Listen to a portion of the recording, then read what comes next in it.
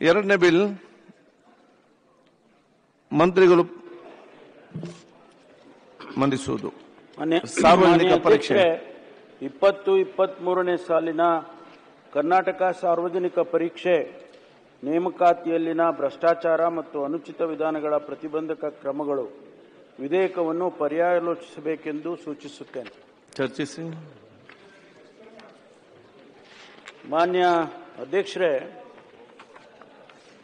ತಮಗೆಲ್ಲ ಗೊತ್ತಿರೋ ಹಾಗೆ ಇಡೀ ದೇಶದಲ್ಲಿ ಬಹುದೊಡ್ಡ ಈ ರೆಕ್ರೂಟ್ಮೆಂಟ್ನಲ್ಲಿ ಬಹಳ ಅಕ್ರಮ ಇಡೀ ದೇಶದಲ್ಲಿ ಪ್ರಥಮ ಬಾರಿಗೆ ಇಷ್ಟೊಂದು ದೊಡ್ಡ ಪ್ರಮಾಣದಲ್ಲಿ ಅಕ್ರಮ ಆಯಿತು ಅಂತ ಹೇಳಿ ಈ ಪೊಲೀಸ್ ಸಬ್ ಇನ್ಸ್ಪೆಕ್ಟರ್ಗಳನ್ನ ರೆಕ್ರೂಟ್ ಮಾಡ್ತಕ್ಕಂಥ ಸಂದರ್ಭದಲ್ಲಿ ಸುಮಾರು ಐನೂರ ನಲವತ್ತೈದು ಪೊಲೀಸ್ ಸಬ್ ಇನ್ಸ್ಪೆಕ್ಟರ್ ರೆಕ್ರೂಟ್ ಮಾಡುವಾಗ ನಡೆದಂಥ ಅಕ್ರಮವನ್ನು ನಾವೆಲ್ಲ ಕೂಡ ನೋಡಿದ್ದೇವೆ. ಅದರಲ್ಲಿ ಪರೀಕ್ಷೆಯನ್ನು ಮಾಡ್ತಕ್ಕಂಥವ್ರು, ಜೊತೆಗೆ ಅದನ್ನು ಎವ್ಯಾಲ್ಯೂಯೇಟ್ ಮಾಡ್ತಕ್ಕಂಥವ್ರು. ಪರೀಕ್ಷೆ ಮಾಡುವಂಥ ಸಂದರ್ಭದಲ್ಲಿ ಏನೆಲ್ಲ ಅಕ್ರಮಗಳು ನಡೀತು ಅನ್ನೋದನ್ನು ಕೂಡ ನಾವೆಲ್ಲ ತಿಳ್ಕೊಂಡಿದ್ದೇವೆ. ಅದರ ಜೊತೆಗೆ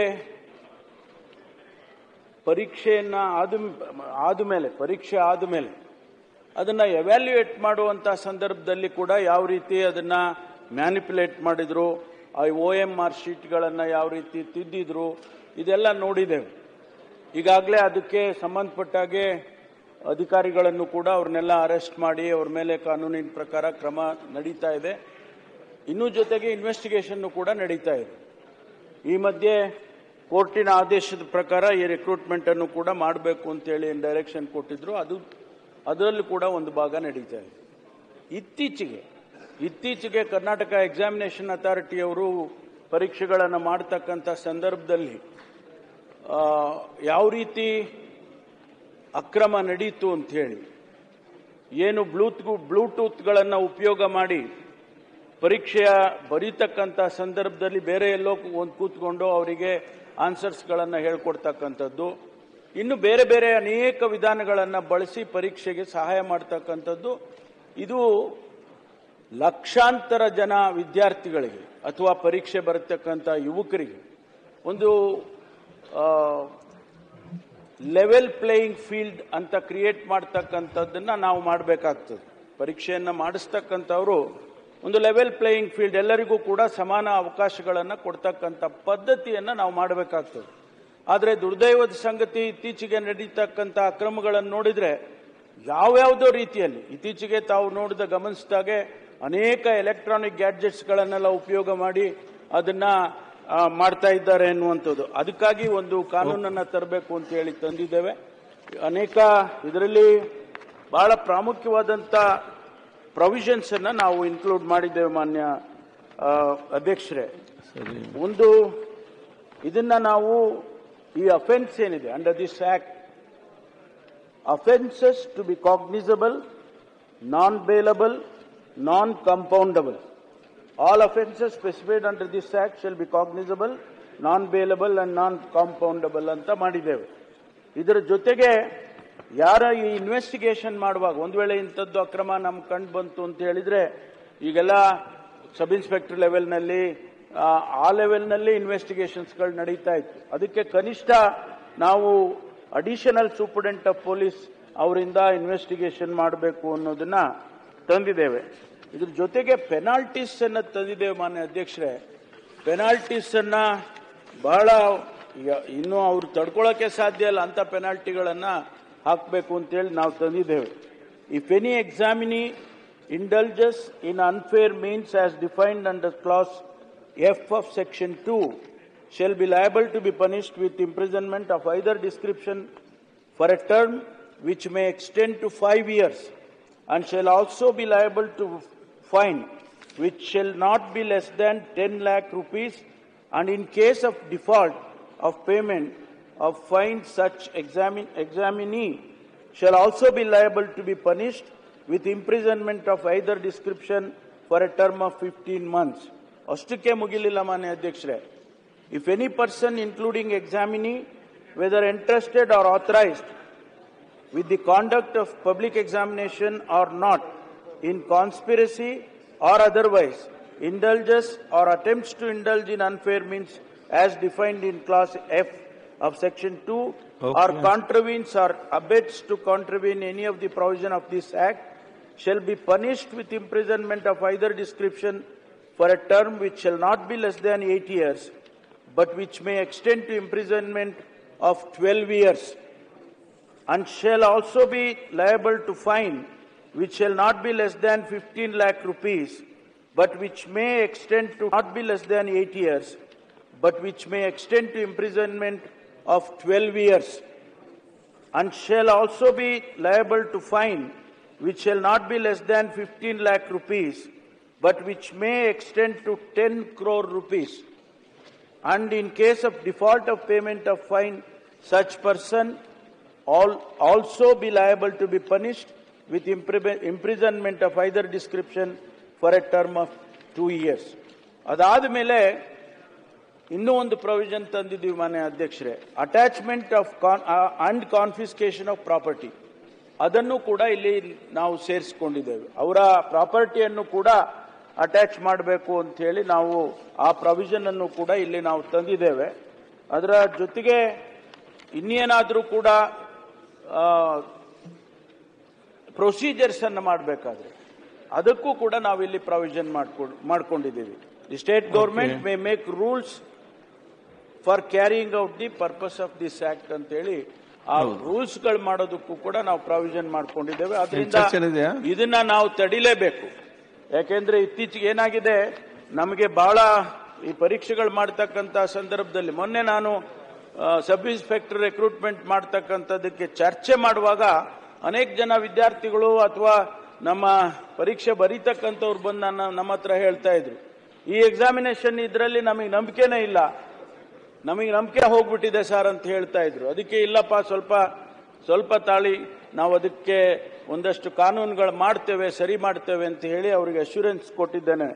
ಮಾನ್ಯ ಅಧ್ಯಕ್ಷರೇ ಇದು ಯಾವ್ಯಾವ ಪರೀಕ್ಷಾ ಇದು ಬರ್ತದೆ ಇದರ ಇದರಲ್ಲಿ ಅಡಿಯಲ್ಲಿ ಅಂದ್ರೆ Karnataka public service commission Karnataka examination authority all other authority or agency or recruitment committee engaged or constituted by the state government, state funded universities, Karnataka school examination and Evaluation Board, Karnataka police recruitment and promotion board public sector undertaking own by the state government any societies corporations local bodies and all PSUs own by the state government substantially or partially any other authority notified by the state government ಇಷ್ಟನ್ನು ಕೂಡ ನಾವು ಇದರ ಅಡಿಯಲ್ಲಿ ಈ ಆಕ್ಟಿನ ಅಡಿಯಲ್ಲಿ ತಂದಿದ್ದೀವಿ ಮೊನ್ನೆ ಅಧ್ಯಕ್ಷರೇ.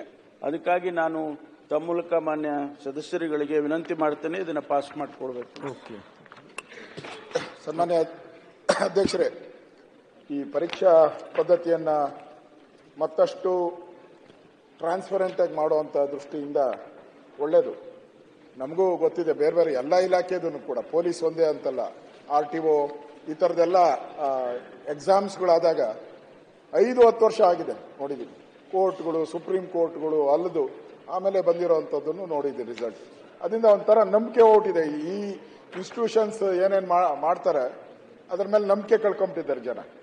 ಕಠಿಣ ಕಾನೂನು ಮಾಡೋದ್ರಿಂದ ಒಳ್ಳೇದಾಗುತ್ತೆ. ವಿದ್ಯಾರ್ಥಿಗಳಿಗೆ ಅಟ್ಲೀಸ್ಟ್ ನಾವು ಪರೀಕ್ಷೆಗೆ ಹೋದರೆ ನಮಗೆ ರಿಸಲ್ಟ್ ಬಂದ್ಮೇಲೆ ನಮಗೆ ಜಾಬ್ ಸಿಗುತ್ತೆ ಅನ್ನೋದು ಒಂದು. ಇದನ್ನು ನಾನು ಸ್ವಾಗತ ಮಾಡ್ತೀನಿ. ಆದರೆ ಇದರಲ್ಲಿ, ನೀವು ಹತ್ತು ಕೋಟಿ ಜುಲ್ಮಾನೆ ಅಂತ ಹೇಳಿದ್ದೀರಾ.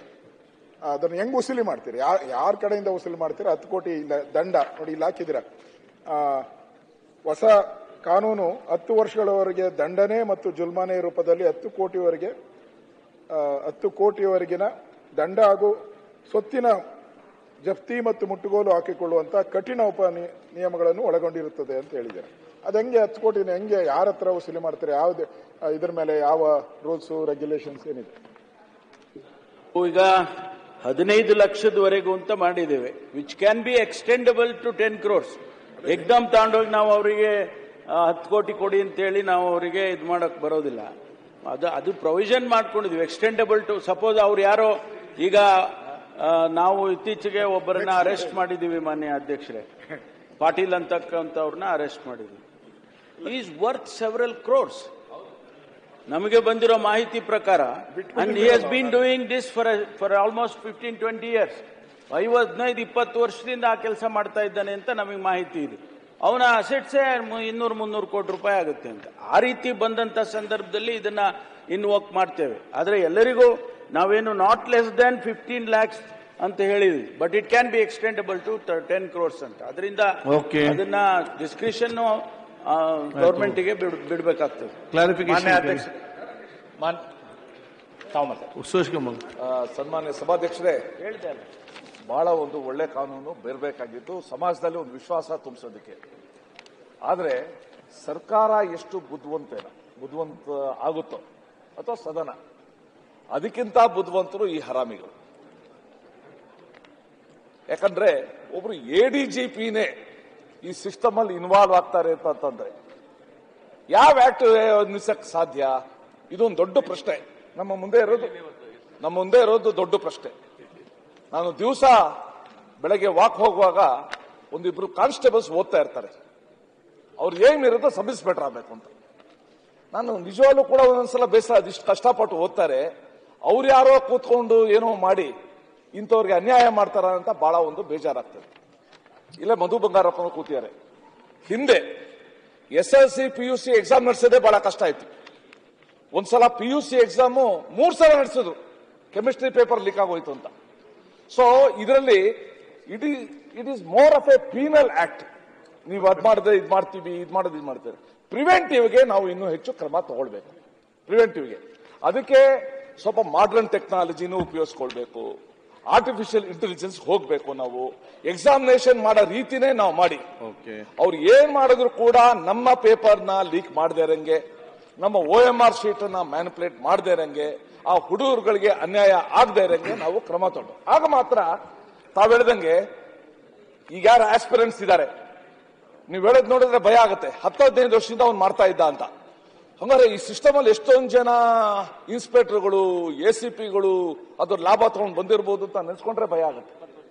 ರಿಯಲಿ ಸೊ ಹೀಗಿರುವಾಗ ಒಂದು ಸೊಸೈಟಿದು ಒಂದು ಮತ್ತೆ ಸ್ಟೇಟ್ದು ಒಂದು ಭದ್ರತೆ ಇರಬೇಕು ಈ ಸಿಸ್ಟಮ್ ಆರೋಗ್ಯಕರವಾಗಿರ್ಬೇಕು ಅಂತಂದ್ರೆ ಈ ಪ್ರಿವೆಂಟಿವ್ ಮೆಷರ್ಸ್ಗೆ ನಾವು ಹೆಚ್ಚು ಗಮನ ಕೊಡಬೇಕು.